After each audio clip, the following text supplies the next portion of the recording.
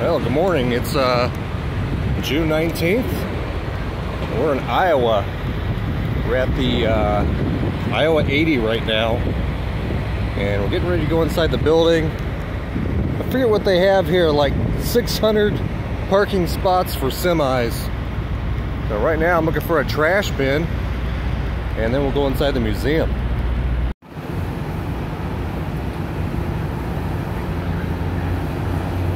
The upstairs balcony. And you can look down, they got all the products, everything you need for your truck down here.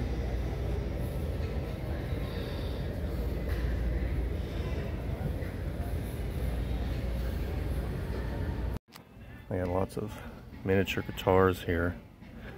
Because I know you love guitars, Mom. But they don't have a Johnny Ramone one in here, so keep looking around. This is the gift shop. This is the food court.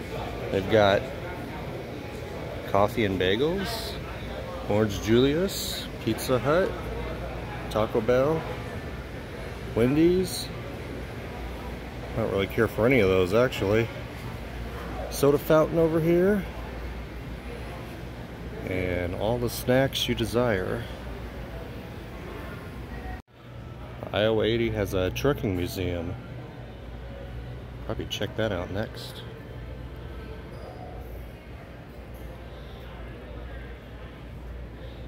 Old Dodge.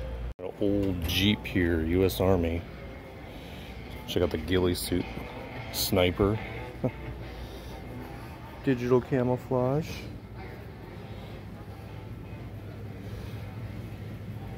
That's the Iowa 80 kitchen restaurant here. You can get lots of food in there if you're hungry.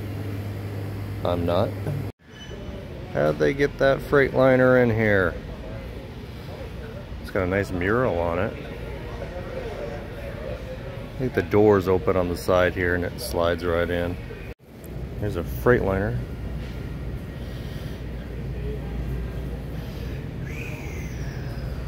You can look outside.